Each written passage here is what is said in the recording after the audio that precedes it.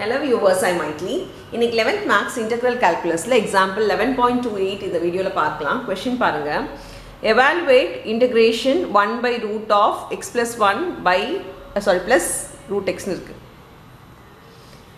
இது மட்டும் மேலே இருந்துச்சுன்னா நியூமரேட்டரில் இருந்த டினாமினேட்டர் இல்லாமல் மேலே நியூமரேட்டரில் மட்டும் இருந்துச்சுன்னா தனித்தனியாக இன்டகிரேஷன் பண்ணிடலாம். ஏன்னா ப்ளஸ் இருக்கும்போது நம்ம தனித்தனியாக இன்டகிரேட் பண்ண முடியும். ஆனால் இங்கே டினாமினேட்டரில் இருக்குது டினாமினேட்டரில் ரூட்டில் இருக்குது அப்படின்னாலே நம்ம நைன்த்துலேருந்து ஒரு விஷயம் படிச்சிருக்கோம். என்னென்னா காஞ்சிகேட் ரேஷனலைஸ் த டினாமினேட்டர் டினாமினேட்டரில் இருக்க ரூட்டை வந்து நம்ம ரிமூவ் பண்ணிடலாம். எப்படின்னா காஞ்சிகேட் பண்ணி கீழே இருக்கிறதோட ஆப்போசிட் சைனால் கீழே மேலேயும் நம்ம மல்டிப்ளை பண்ணி நம்ம ரூட்டை ரிமூவ் பண்ணிடலாம். அதுதான் இங்கே பண்ண போகிறோம் root of x plus one இருக்குது ப்ளஸ் ரூட் எக்ஸ் இருக்குது இதே மாதிரி இந்த நடுவில் இருக்க சைனால் இதே எழுதி நடுவில் இருக்க சைனால் மாற்றி மாற்றி கீழியும் மேலேயும் மல்டிப்ளை பண்ணிக்கோங்க.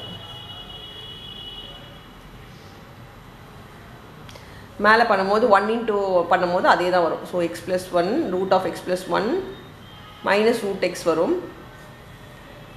டினாமினேட்டரில் பண்ணும்போது a plus b into a minus பியில் எப்போவுமே இந்த ஃபார்மேட்டில் தான் இருக்கும். ஏன்னா நம்ம மாற்றி சைனால் தானே மல்டிப்ளை பண்ணுறோம் அப்போ a square minus b square வரும். ஏ ஸ்கொயர்ன்றது இங்கே என்ன இருக்கோ அப்படியே எழுதிக்கோங்க. Root of x plus one the whole square minus root x the whole square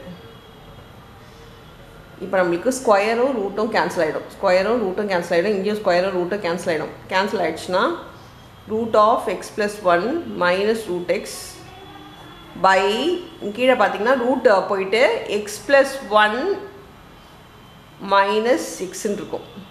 route போயிடும். ஏன்னா ஸ்கொயர் ரூட்டை கேன்சல் ஆகிடும் சொல்லியிருக்கேன் வெறும் எக்ஸ் தான் இருக்கும். ஸோ மைனஸ் எக்ஸு இந்த ப்ளஸ் எக்ஸும் மைனஸ் எக்ஸும் நம்மளுக்கு கேன்சல் ஆகிடும் கேன்சல் ஆகிட்டா இப்போ பை ஒன் மட்டும்தான் இருக்குது பை ஒன்னுன்றது எழுதணுன்ற அவசியமே கிடையாது. ஏன்னா எனிதிங் பை ஒன் வந்து அதே வேல்யூ தான் வரும். ஸோ இப்போ இந்த ரூட்டை நம்ம தனித்தனியாக எடுத்துகிட்டு போகலாம் இன்டக்ரேஷனில் root of x plus one d x minus root x d x இப்போ ரூட் ஆஃப் எக்ஸ் ப்ளஸ் ஒன்ன்றது ரொம்ப ஈஸி எக்ஸ் பவர் என் ஃபார்மேட்டில் இது பண்ணிக்கலாம். எக்ஸ் பவர் என்னா இன்டகிரேஷன் பார்த்தீங்கன்னா x power n plus one by n plus one வரும். அப்படின்னா பவரில் ஒன்று ஆட் பண்ணி அதே பவரை நம்ம கீழே எழுதணும். ஸோ இது பவர்லனா இது வந்து என்ன இருக்குன்னா x plus one the whole power one by two ரூட்டுனா one by two power one by two so அப்படி பார்த்தீங்கன்னா இது x plus one the whole power one by டூன்னு இருக்கும். ப்ளஸ் ஒன் போட்டுக்கோங்க. அதே பவரை அப்படியே டினாமினேட்டர் எழுதிக்கோங்க. இங்கே மைனஸ் அதே x power one by two plus one by one by two plus one இப்போ இன்டகிரேஷன் பண்ணதால ப்ளஸ் சி நம்ம எழுதிக்க முடியும். இப்போ நம்ம இது சால்வ் பண்ணிக்கலாம். One plus one by two plus one பார்த்தீங்கன்னா இது அப்படியே நீங்கள் மல்டிப்ளை பண்ணிக்கோங்க. Two ones are two two plus one three by two LCM எடுக்கிறதுன்றது by one இருக்கும்போது நீங்கள் டேரெக்டாக இதை மல்டிப்ளை பண்ணிக்கலாம். அப்படி பண்ணால் two plus one two two ones are two plus one வந்து த்ரீ பை டூன்னு வரும். இங்கே டினாமினேட்லேயும் த்ரீ பை டூ வருமா? அது நம்ம ரெசிப்ரோக்கலாக நெக்ஸ்ட் ஸ்டெப்பில் மேலே எடுத்துகிட்டு போகிறதுக்கு பதிலாக இப்போவே எடுத்துகிட்டு போகலாம் த்ரீ பை டூ டினாமினேட்டர்லேயும் வரும் மேலேயும் பவர் த்ரீ பை டூ இருந்தால் கீழேயும் பவர் த்ரீ பை டூ வரும். அது நம்ம நியூமரேட்டருக்கு ஏன்னா ரெண்டு பை வரக்கூடாதுன்றதுனால கீழே இருக்கிறத ரெசிப்ரோக்கலாக எடுத்துகிட்டு போகலாம் அப்படி பார்த்தா இது two by three x plus one the whole power three by டூன்னு இருக்கும்.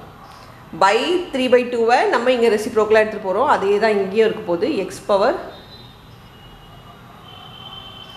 three by two கீழே த்ரீ பை டூ வந்து டூ பை த்ரீன்னு ஆகிடும் ப்ளஸ் சி ஸோ இதுதான் உங்களோட ஃபைனல் ஆன்சர் இந்த சம்முக்கு ஸோ காஞ்சிகேட் பண்ணிட்டோன்னா சம்மை ரொம்ப ஈஸியாக கொண்டு போயிடலாம். அவ்வளோதான் இந்த சம் தேங்க்யூ